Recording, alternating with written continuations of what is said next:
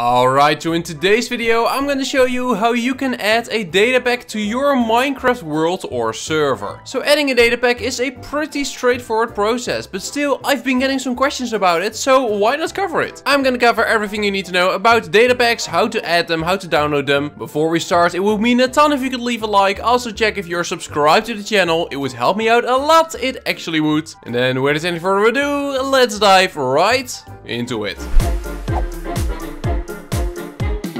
So the first thing you want to do to add a data pack to a Minecraft world is actually downloading a data pack. Now what data pack you want to install is completely up to you. For the purpose of this video I'm gonna use Terralith because it's a very very great and well-known data pack. It looks absolutely amazing and it's getting an update very very soon. So we're gonna install Terralith. For those of you who don't really know what data packs do, data packs alter your Minecraft world. So they will mostly change the way your world looks. As far as I know, data packs can't add any Minecraft items. It's also nothing like a mod, it will just change the behavior of your world a little bit. So Terralith for example is a Minecraft data pack that completely alters the look of the entire world. So it creates new biomes, I think it also has a new world height, but it doesn't add a single block. So after downloading your data pack from whatever website, I shall leave the link to Terralith in the description of this video, but after downloading whatever data pack you want, drag it to your desktop and it should be a zip file. So in my case it says Terralith version blah blah blah dot zip. You don't need to unzip it or unpack it or anything like that, you can just leave it like this. This is your data pack. Now in this case you have two options. Or you can just add the data pack to an already existing world, or you can create a new world with the data pack. I would highly recommend creating a new world with the data pack, because if you're going to add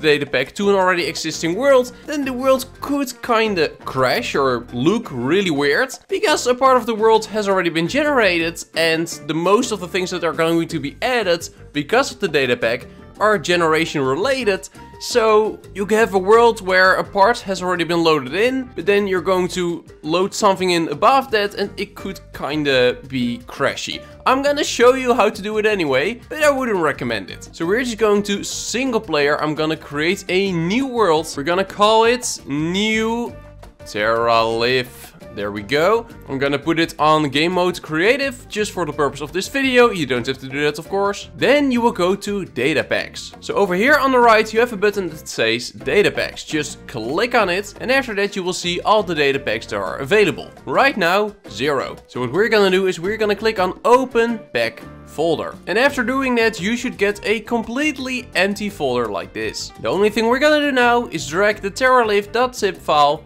inside, just like that. Then we will go back in game and now under available you will see Terralith. So we're gonna click on this arrow, it will put it to selected, so Terralith is selected now. Then we're gonna click on done it will load for a second and after that we are ready to create the world. So just click on create new world. It will give this message. Always when you add a data pack, it will give this message. Worlds using experimental settings are not supported, blah blah blah. Something can go wrong. We're just gonna proceed. It's Terralith, it's safe, we know that. Now, it could take a while before it actually starts generating because, of course, this is not a normal Minecraft generation. It's a whole different kind of generation. Everything in the game will work a little different, so it can also take a while before it actually starts generating. Like you can see, it's also very, very slow, but it will get the job done eventually. And after a while, there we go. Hello, thank you for installing Terralith. You are randomly teleported to ensure a proper random world spawn. Alright, so here we freaking go. We're in Terralith, the Minecraft data pack that makes everything look amazing. Okay, here you got a giant tree already. Look at that. I love this data pack. I should really, really do a survival series in here. That would be so great. Okay, so Terralith is installed on a brand new world. Now let's say you would want to install a data pack on a already existing world. Terralith is not a data pack that you would want to install on an already existing world. Like,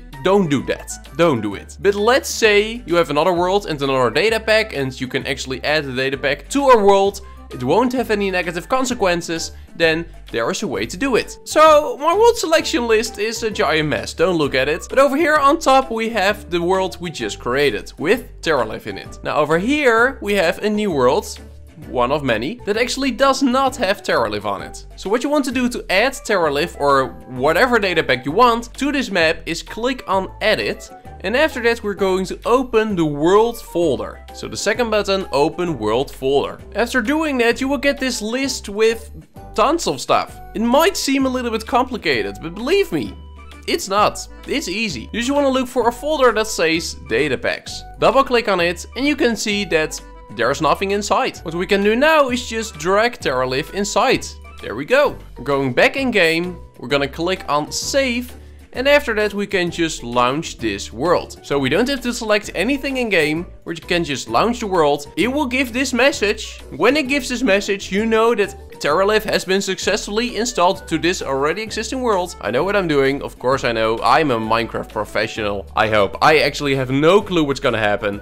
I don't think it was a good idea to install Terralith on an already existing Minecraft world, but you know, you can do it. There is a way to do it. Here we go. Okay, I will be randomly teleported, but you can very clearly see that this is indeed Terralith it has been successfully installed on this Minecraft world. It was an already existing Minecraft world and now it has Terralith on it. Now like I said, I wouldn't recommend it, but if you have another data pack that doesn't alter how the world looks so much, then it might be a good idea. It might be fun. Looking freaking epic though, my god. Now let's say you want to play a data pack together with friends. So Terralith for example, I'm just gonna keep using the Terralith example. You wanna play Terralith together with a friend. Then you will need to add Terralith to a Minecraft server. Now how are we're gonna do that? Well that will actually be very very simple. After you've set up a Minecraft server, it can be a Spigot server, it can be a vanilla Minecraft server, it doesn't matter. You will always have a folder called world. The only difference is that in Spigot or paper servers, you will have three folders. You will have World, World Nether and World End. In the normal vanilla Minecraft server, you will only have the normal World folder and the World Nether and World End will actually be in there. At least the last time I made a vanilla Minecraft server that was the case, that has been a few years ago, so things might have changed. I'm not gonna check it, I don't care. You should make a paper or server anyway. So this is my paper server. We're gonna click on worlds. Also, just like with the single player map, you will see a folder called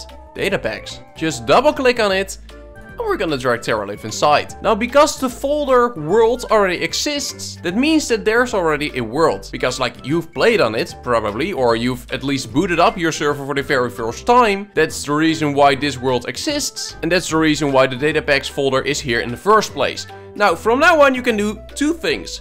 Or you can just launch your server and start playing. If you do that, then you will have the same scenario as adding Terralith or whatever data pack to an already existing Minecraft world. You've created a world with normal Minecraft generation and later you added a data pack to it, in my case Terralith. So if we start a Minecraft server right now, it will be the same scenario. What I would recommend doing is actually resetting the world. But of course we don't want to delete this whole folder, that would also delete Terralith. So we're just going to clear every single file here except for the data packs folder. So everything needs to be gone. There we go. OneDrive is giving me a warning. I don't care. There it is. Now we have a folder called world with only a data packs folder inside and that actually has Terralith. So now we're gonna restart the server. Then we're going to multiplayer, direct connection, my local host server of course, because the server is hosted on my own PC. If you're hosting your server somewhere else, then just go to the IP address and there we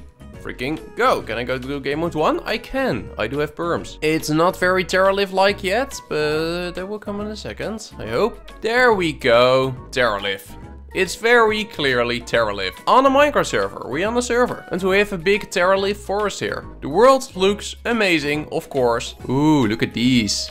This is also a great biome. This is not in regular Minecraft right? No, I'm sure it isn't. But it looks so great. Terralith on the server. You can now play Terralith with your friends on a Minecraft server. It is freaking great. Anyways, guys, I really, really hope you enjoyed watching this video. Hopefully you learned something from it. And if you're new to the channel, not subscribed yet, and you're enjoying the content, make sure to smash that subscribe button and click on the notification bell. You would really, really help me out by doing that. You actually would. And thank you guys so extremely much for subscribing. We recently hit the 5,000 subscribers, the 5k, which is absolutely, absolutely insane. Anyways, that will be all for now. And I will see you in the next one. Bye bye.